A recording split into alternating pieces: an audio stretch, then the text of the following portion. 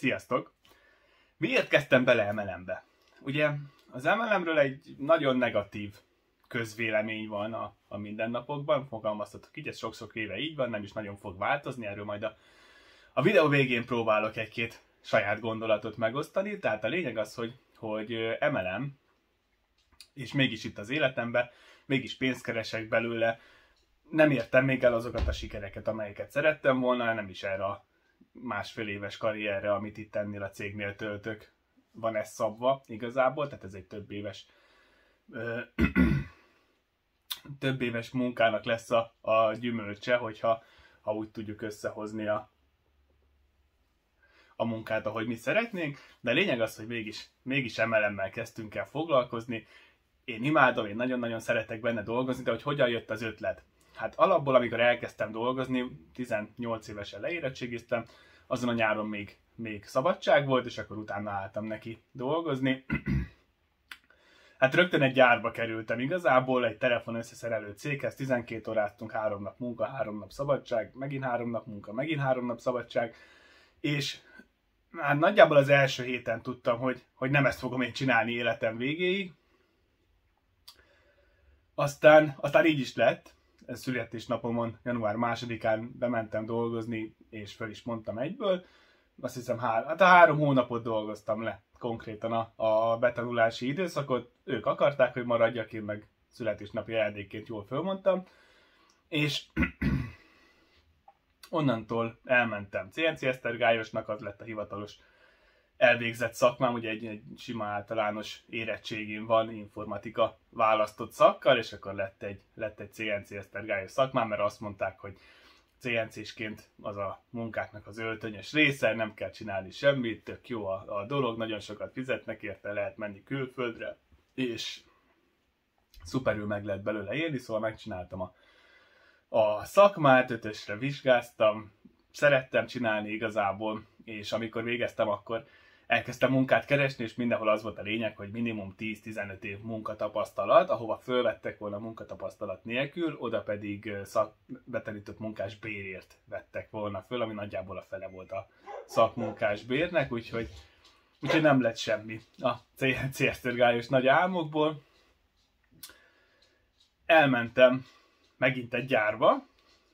tudtam, hogy nem, nem akarok én életem végig gyárba dolgozni, de nem is ez a lényeg. A lényeg az, hogy már az első pillanatban tudtam, hogy nem akarok a nyugdíjkorhatárig dolgozni, és nem akarok, nem akarok 65 éves koromig végig beosztott lenni konkrétan. Ugye az, hogy normális munkahelyen vezető pozícióba kerüljél, az, az vagy nagyon hosszú nyelv kell hozzá, vagy szuper jó hátszél, esetleg a többiek munkájának a 600%-át kell tenni az asztalra, ami igazából nagyjából lehetetlen, és akkor is lesz mindig valaki, aki valakinek a rokona is érkezik, vagy, vagy nagyon jó haverságban van a, a főnökkel, és akkor ő előrébb lesz rakva, persze végig ott van a karrier során, hogy a feletted lévő az, az megpróbál téged leszorítani, hiszen, hiszen ha te előrébb kerülsz, akkor lehet, hogy ő kerül hátrébb, mert az ő pozícióját fogod elvenni, tehát igazából folyamatosan vissza vagy tartva, folyamatosan el van nyomva, és mindenkin keresztül kell mászni. Konkrétan mindenkit el kell nyomni ahhoz, hogy te előrébb tudjál kerülni. Én ezt nem szeretem, versenypárti vagyok, elviselem azt, hogyha kikapok, de, de azt, hogy másokon keresztül kell menni, az, az nem az én asztalom, úgyhogy ezt pontosan tudtam, hogy beosztott nem leszek munka végéig, tehát igazából 65 éves koromig, ha jól emlékszem, most annyi a korhatár. Annyi ideig beosztott nem leszek, és ahhoz, hogy saját vállalkozást indítsak, ahhoz meg sok millió forint kell, plusz nem is nagyon tudtam, hogy mihez fog még hozzá. Tehát most CRC esztergályos vállalkozást elindítani, ahhoz nem volt elég az a tudás, amit, amit akkor összeszedtem. Nem volt szakmám, volt egy sima alap info érettségim, azt tovább kellett volna vinni, hogy valamire tudjak szakosodni, és abba tudjak dolgozni. Meló mellett nem tudtam elmenni tanulni, szakmát tanulni, úgyhogy, úgyhogy meg volt kötve a kezem igazából, és ekkor ugrott be az emelem, fogalmam nem volt róla, egy spanon fölhívott, hogy belefogott valamibe, és hogy pont abban a városban lesz egy előadás, ahol én laktam akkor, és menjek már el és hallgassam meg. És mire odaértem, addigra, ha jól emlékszem, már be is voltam regisztrálva magába a rendszerbe, meghallgattam, hogy mivel fogok foglalkozni, tetszett, elkezdtük csinálni, persze nem csináltam, tehát az is hozzá tartozik, hogy beregisztráltam, és, és nem csináltunk semmit, vártam a csodát, két, két akkori, az egyik az a főnöke volt, a közvetlen főnöke, a másik pedig egy munkatársam, mert rögtön be is léptek hozzám, ugye megtetszett nekik ez a, ez a rendszer, egy héten belül meg volt az első két csapattag, és, és itt meg is állt a, a történet, hiába csináltunk mi tájékoztatókat, megjöttek a, a haverok mind azt mondta, hogy ez hülyeség, ha neked pénzed lesz belőle, akkor szóljál, mert akkor őt is érdekli, ha te sikeres leszel, akkor szóljál, mert akkor én is jövök. És ezzel el is telt konkrétan két év. Nagyon előrébb nem jutottunk, de legalább ott voltunk, és jártunk mindenféle szemináriumokra, haverkodtunk másokkal, akik ezzel foglalkoztak, tehát igazából maga, maga a rendszer az, az tetszett, és, és az a munka, amit elvileg csinálni kellett volna, az, az úgy tetszett, attól függetlenül, hogy, hogy nem csináltam, de azt akkor már tudtam, hogy ha, ha ebbe valóban rátalálok a saját hangomra, és beleteszek mondjuk 5 évet az életemből, másodállásként, tehát igazából mindenképp elmegy ez az 5 év, tehát nem vesztek semmit, akkor ez kiválthatja azt, hogy nekem ne kelljen 65 éves koromig dolgoznom, és ne kelljen végig másnak a hülyeségeit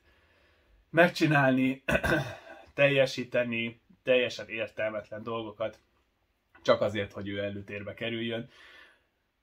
véghez vinni, úgyhogy, úgyhogy ezt tudtam előre, hogy kell nekem az emelem. Nem kerültek millióba az indulási költségek, a mostani rendszernél, ahol most dolgozunk, és ez az utolsó, ebben teljesen biztos vagyok, itt 15 ezer forint volt az, hogy, hogy elkezdhessek csapatot építeni. A regisztráció természetesen itt is ingyenes, mint a mindenhol máshol, és ezt tartom is, hogy hogy ennek ingyenesnek is kell lennie a regisztrációnak, viszont ugye termékekre épül maga a rendszer, úgyhogy termékeket ki kellett próbálni, erre 15 ezeret kifizettünk az elején. Hát ennél jobb 15 ezeres befektetésem még soha az életben nem volt.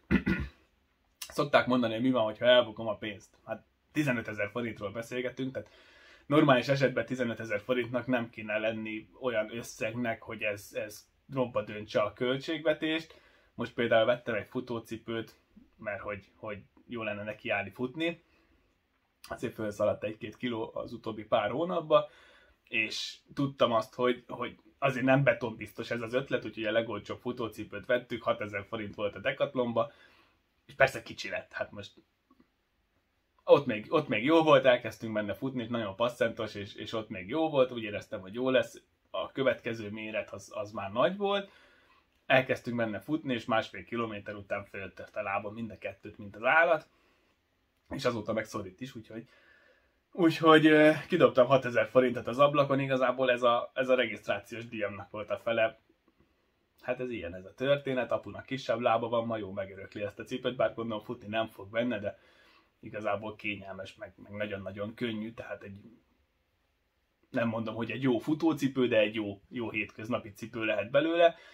Szóval, ha belegondoltok, akkor buktál már 10 ezer forintot, vagy 15 ezeret, vagy 20 ezeret, persze, hogy buktál, hát olyan dolgokat veszünk, ami, ami nem biztos, hogy beváltja a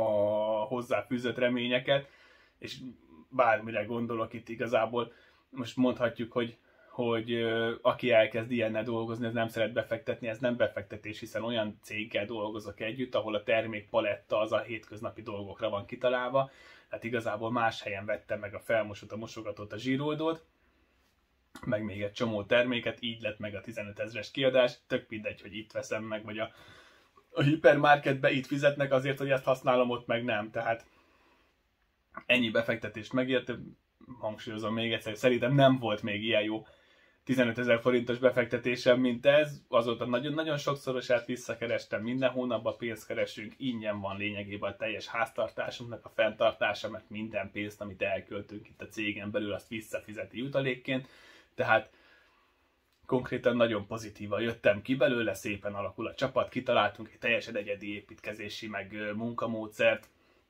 még a cégen belül is egyediek, de az MLM-en belül is, úgyhogy nagyon jól tudunk haladni, nagyon jó a dinamika magában a csapatban, én úgy gondolom, hogy, hogy a legjobb helyen vagyunk, de mégis küzdünk azzal, hogy negatíva az MLM-nek a megítélése, és akkor vissza is térek a második kis témára.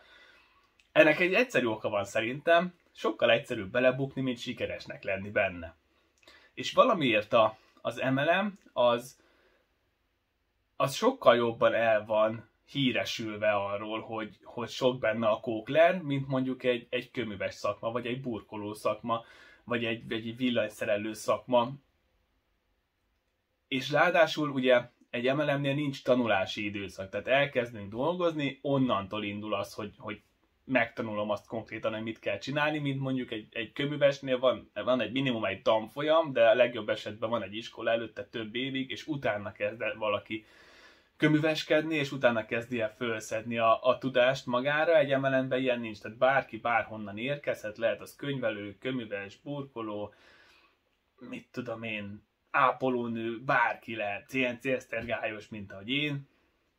bárki lehet konkrétan, és amikor belekezdünk egy emelembe, akkor 99% hogy, hogy nem foglalkoztunk még ilyennel korábban, és meg kell tanulni azt, hogy mik itt a, a feltételek, mik az alapok, mire épül a rendszer, hogyan épül fel a rendszer, hogyan kell építeni egy csapatot, aztán hogyan kell vezetni, tehát itt vezetővé kell várni kapásból. Igazából ez egy nagyon-nagyon aktív személyiségfejlődési munkakör konkrétan, hiszen amit magadba szívsz, azt a tudást, az gyorsan ki is kell adni a csapatnak, akiket addig összeépítettél, mert, mert ő nekik is haladni kell, és aki nem hajlandó arra, hogy tanuljon és tanítson is, nagyjából egy időben, az alapból halára van ítélve egy emelembe, nem fog pénzt keresni belőle, és mit fog mondani, hogy az emelem szar. Mert nem kerestem belőle egy forintot se. Az, hogy nem csináltad azt, amit kértek, az, hogy nem vetted fel azt a ritmust, amit kellett volna, az, hogy nem vásároltál termékeket, az, az igazából minden lesz hallgatva, és csak az lesz mondva, hogy az emelem egy szar. Ez ugyanolyan, mint hogy egy köműves fölhúzna egy falat, de nem rakna habarcsot a téglák közé, meg semmiféle kötőanyagot, csak egymásra rakná kötésbe, szépen bevakolná, és amikor fölvered rá az első szöget, hogy fölakaszd a képet, akkor kidőlne a francba az egész fal, mert hát ugye nyilván nem úgy van összerakva, hogy kéne, vagy, vagy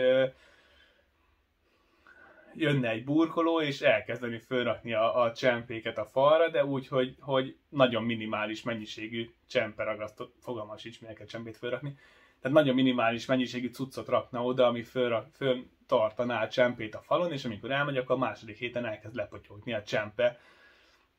Tehát ez egy ilyen dolog, ezt meg kell tanulni, ezt össze kell, össze kell gyűjteni a tudást, és ráadásul rögtön tovább is kell adni. Tehát itt, itt ö, olyanok vagyunk, mint a Jedik, hogy azt a tudást, amit felszedünk, azt továbbadjuk a kis padavánoknak, miközben végig mi is padavánok maradunk, és mi is végig tanulunk, és egyben tanítunk is. Tehát ez, egy nagyon érdekes, nem egy túl egyszerű, tehát nem egy egyszerű dolog, nem egy atomfizika természetesen, tehát hogyha megérted az alapokat, akkor, akkor az nagyon gyorsan összejön, tehát és mi, mi lehet egy alapja egy MLM rendszernek? Fogd meg azt a céget, amelyiket elkezdtél képviselni, és csinálj neki profitot. Tehát ez kurva egyszerű. Ha profitot csinálsz neki, akkor jutalékot kapsz, ha nem csinálsz neki profitot, akkor nem kapsz jutalékot. Ez, ez úgy viszonylag ennyi. Mi nem értékesítünk, mi nem úgy csináljuk a profitot, mi egyszerűen a saját háztartási cuccainkat, higiéniás dolgainkat és étrend kiegészítőinket cseréltük le azokról, amiket ad nekünk a cég